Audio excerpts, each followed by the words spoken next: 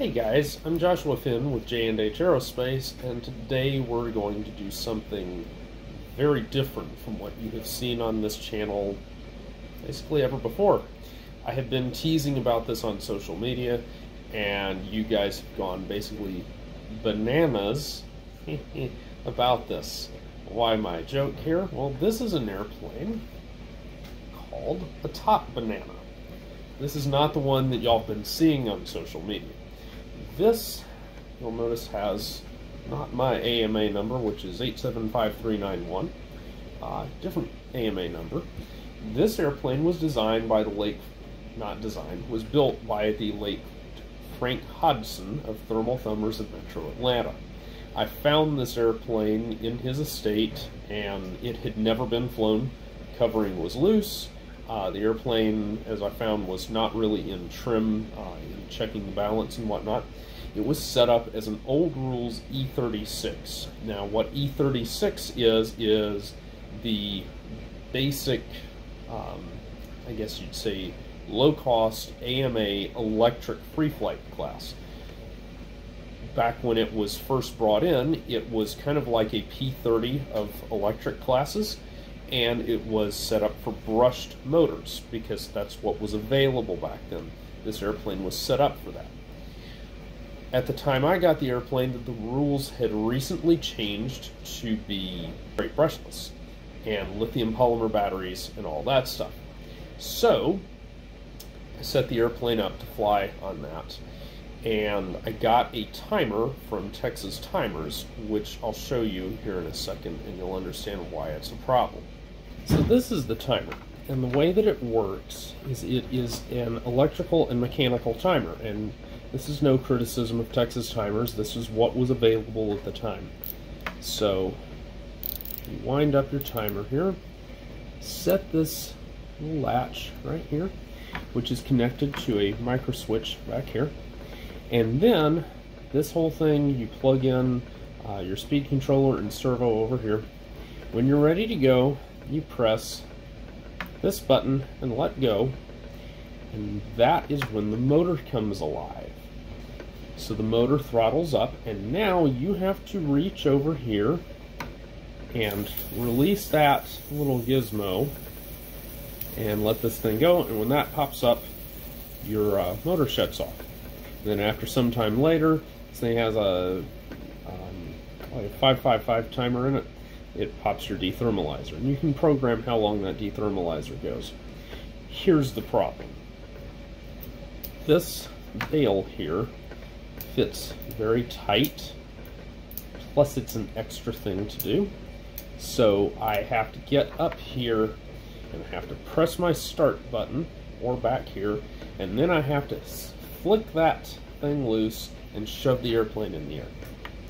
Now, this thing has a safety switch, so to speak, that after 30 seconds of continuous running of the motor, it shuts the motor down, period, and pops the dethermalizer. This thing, not with this motor, was set loose in some of my trimming. I had learned how to trim it, was having fun, set it loose, and I thought I caught that bail, and I didn't. And the airplane climbed for 30 seconds and dethermalized into a um, an orchard of, uh, of pecan trees. And it sat in the top of a pecan tree about 100 feet up for a long time. You'll notice this fuselage is stained horribly even though it's covered with uh, solar film. That's mold. That is the accumulation of mold for this fuselage to have been in that tree for over a year. The wing came down after about three or four months because the rubber bands broke. Eventually, the dethermalizer retainer line on the uh, stabilizer broke, and it came down after about eight months. The stabilizer, you know, looks pretty good. There's a little bit of staining in here, but not much. Bottom line is, uh, the fuselage was broken in half. All the wiring was trashed, except for this wiring, believe it or not. Um, and the, this timer actually does remain functional. But the, the bottom line is, that kind of put me out of that for a while. and um, so the airplane sat derelict for four years, the past four years. About uh, three weeks ago, I got tired of this and said, it's time to get going. Plus, somebody in the uh, flight test community got me these uh, timers, modern timers to run on, on there. So this is the uh, easy timer that you can get from Stevens Aero. It's made by Forge Electronics. Uh, pretty good timer. A little quirky to trim. I'm still getting or uh, tune. I'm still getting used to it. But the bottom line is, you're going to see that. Uh, you're going to see a couple flights of this going off. Uh, just quick test flights. We'll do more on it later. Now for the real story for the 2022 National Free Flight Society uh, Gas Power One Design event, the Top Banana is going to be one of the airplanes, specifically the Top Banana 200 one half A size version. This one has a one half A engine on it. So, I have never this is being recorded afterwards, so obviously this is all plumbed up. You're going to see me kind of go backwards in the progression. But the bottom line is, start when this where this video footage starts, you will be seeing me having never ever flown a glow-powered free flight model ever in my life. Prepare for some laughter. It's going to be bad.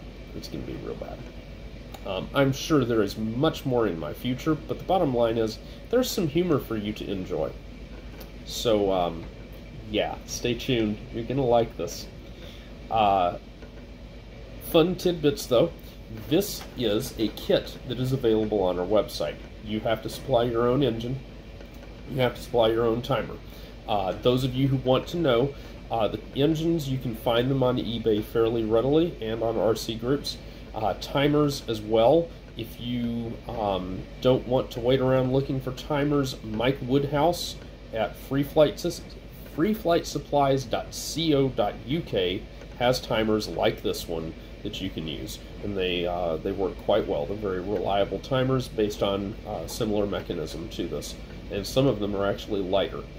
Um, all of the plumbing for the engine is available from texastimers.com, so check them out for all of your plumbing needs for, for the engines. Uh, they have remote shutoffs and whatnot, so um, the remote shutoffs work very, very well. But that's really the sum of it. This is a laser cut kit that we supply now, and you can use it for E36 because it includes uh, firewalls for all the different setups, uh, a whole bunch of different popular electric motors, plus uh, radial mount and not radial mount, the uh, one half A um, engine mounts, and and so on. So very very customized kit for a variety of options. Um, includes Doculam covering. You can put tissue over the top of it for stiffness if you're going to fly faster setups um, like this medallion would probably be something where you might want to uh, to do this, which is why I did it. Uh, some of your milder E36 setups you don't need to, um, but just stuff to make sure that wing's nice and stiff. Um, my stab is relatively stiff even without the tissue on it, so you can get away with that fairly well. Uh, the reality is that either setup is stiffer than this old guy, which is quite flexy. So there you go. Anyway, enjoy the fun.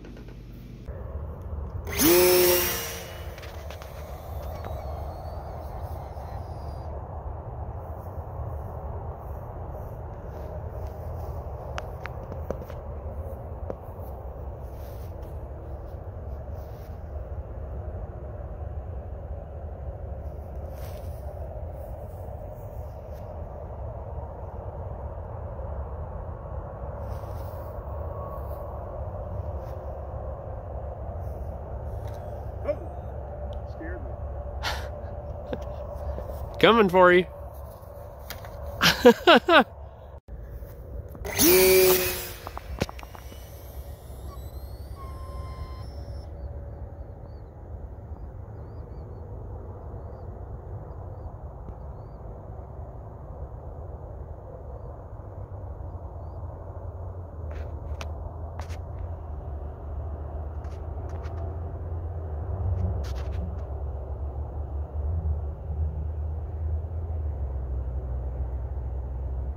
Don't On the cars. Okay, much better.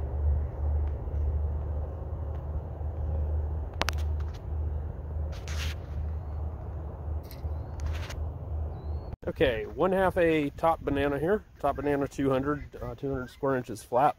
Uh, not even finished doping it. You can still see some blushing on the on the wings there and whatnot because I haven't cleaned all that up because it doesn't have a second coat of dope on it. And engine is all, it's a Medallion 049, so I've got it uh, covered up to keep sand out of it. Don't have a timer or anything. It's 5.3 ounces as you see it here. Tissue over Doculam covering. So let's do a test glide. And the wind is definitely blowing pretty good. Alright. Definitely seems a little nose heavy, but I could learn to chuck it properly. Yeah, it's nose heavy. That's sad. It's sad just how nose heavy it is. We'll get that fixed though. Okay, stuck a shim under it.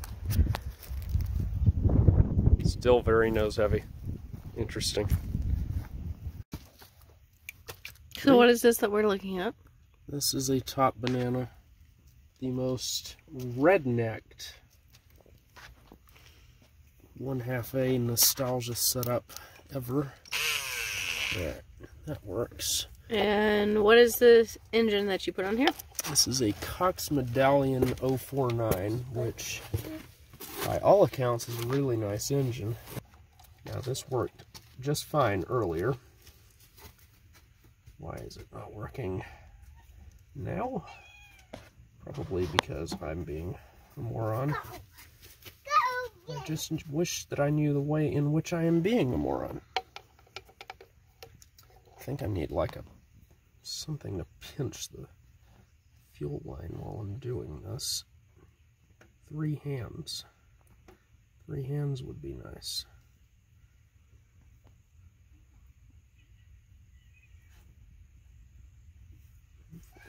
Was get enough pressure in there.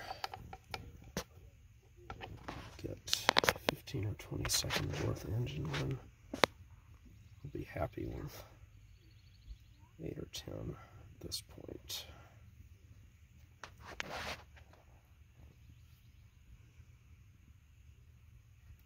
Alright. So at this point we have to come around from behind and apply electricity to the problem. You'll want to back up at this point.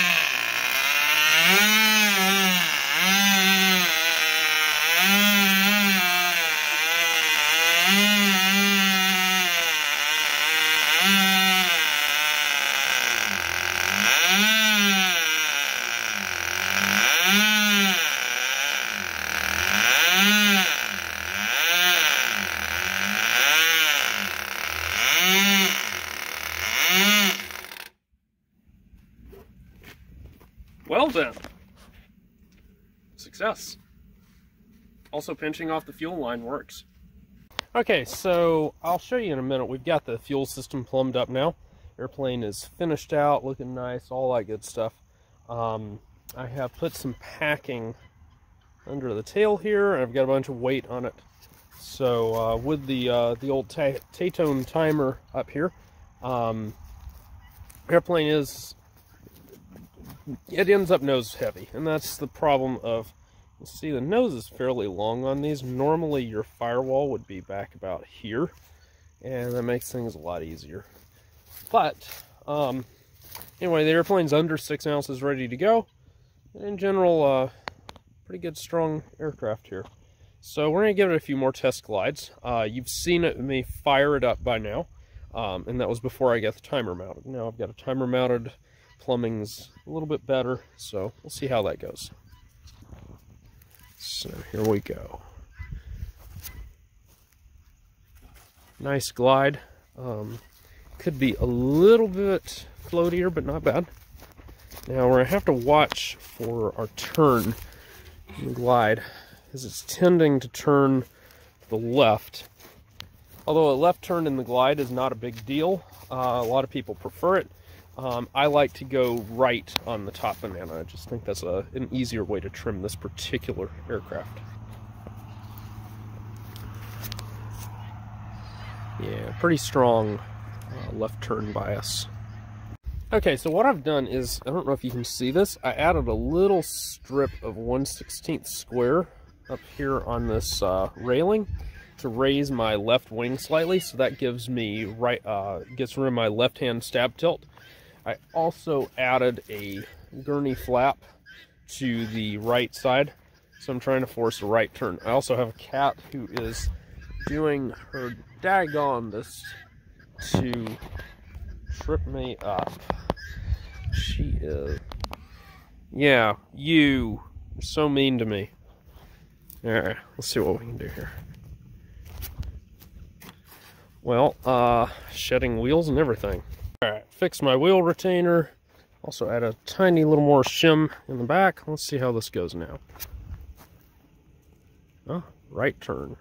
Very wide. Nice. Yeah, let's try one more. Oh yeah, there we go. Very nice.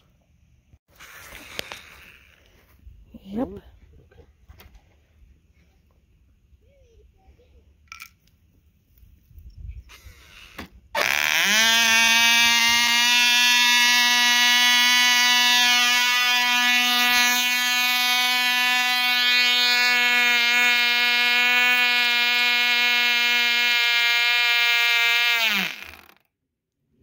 Well, you got to be able to shut off the fuel flow to fly it. It's not wanting to shut off. You ornery little thing. All right, well, I'm gonna need to go inside and get a pair of pliers.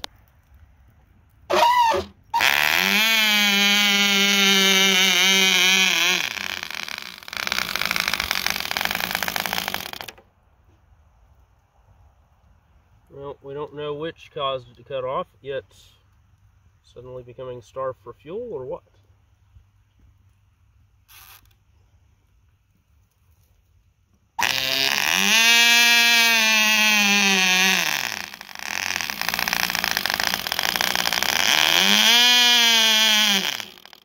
Hey! Okay, so we are simply low on pressure right now.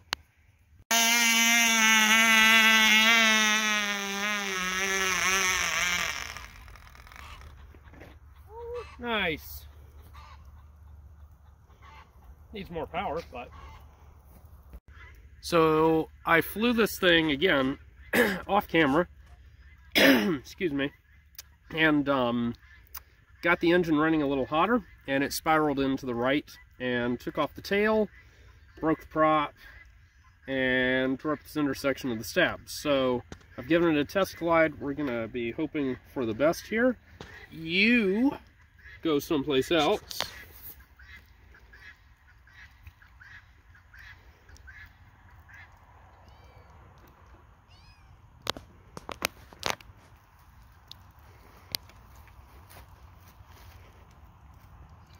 Should add, we took out some rudder trim and all of that such like.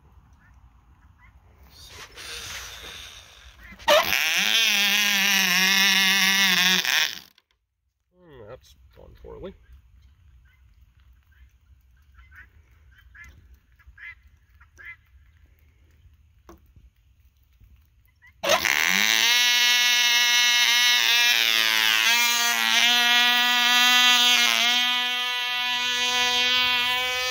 Shut off! Shut off!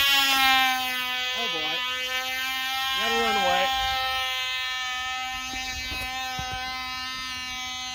knows how long that's go.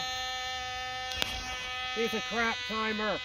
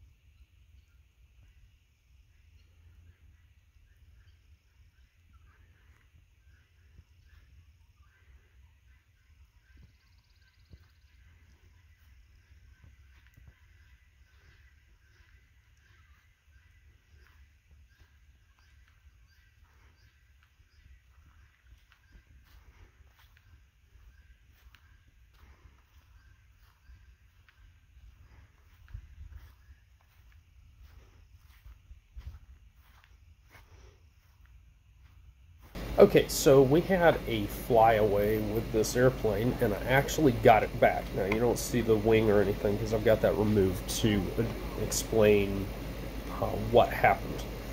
So, this fuel line is silicon fuel uh, line from Texas Timers, and it's very thin um, and very easily squished off, which is kind of the point. You want it to be easily squished off so you can get a quick um, shutdown of your engine very precisely, very reliably. Here is the issue. The way that this works is that I have my pressure bladder down here that uh, squirts, you know, fuel under pressure through this assembly and on through and then back up to my needle valve. Right here on this timer, if I press my release, the timer comes across and it pinches that off or so we would think. The reality is, it kind of slides off to the side there. And I thought I had it enough, but I didn't. And you can demonstrate this by on the up upstream side, if I, you see some of the fuel in there, when I squeeze this, you can see this moving around, which means I don't have a good seal here. The solution, which I have now determined, by actually running the engine without flying it so that I don't get a repeat is this little device right here.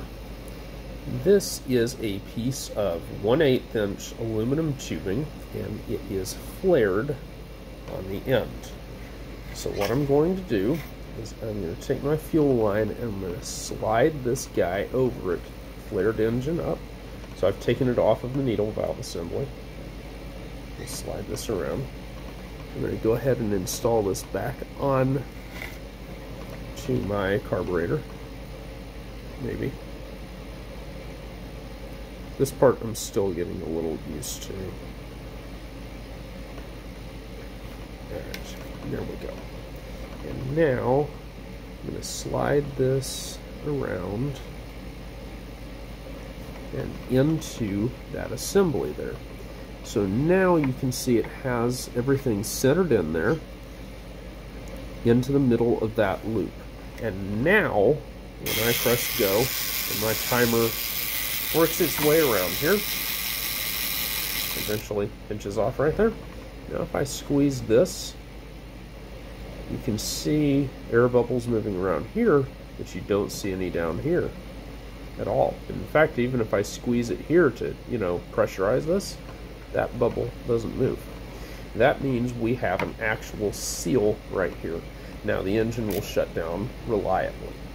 Um, and I've tested this repeatedly, and it does work. Uh, so what you'll see next are some flights. This is actually filmed after those, showing how things work. So there you go.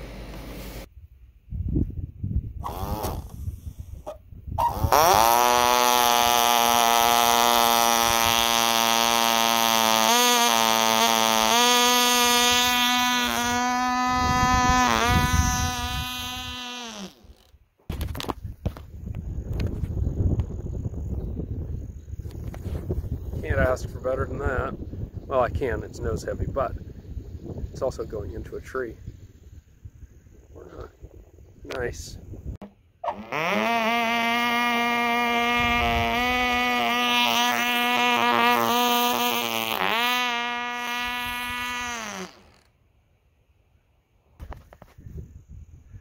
And off to another tree to decorate.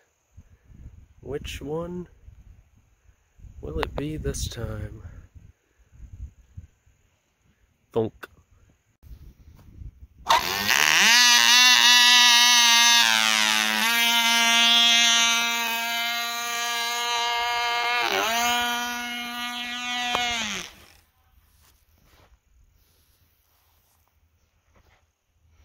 Come on, keep turning, keep turning.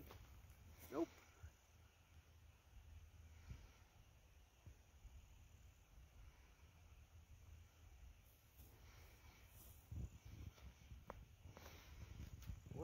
Gonna hit this time? Please not a fence post. Wow. Okay, I hope you have enjoyed some of my follies and successes in working with this aircraft. Uh, I hope it's given you some ideas for how to set up glow-powered free flight airplanes.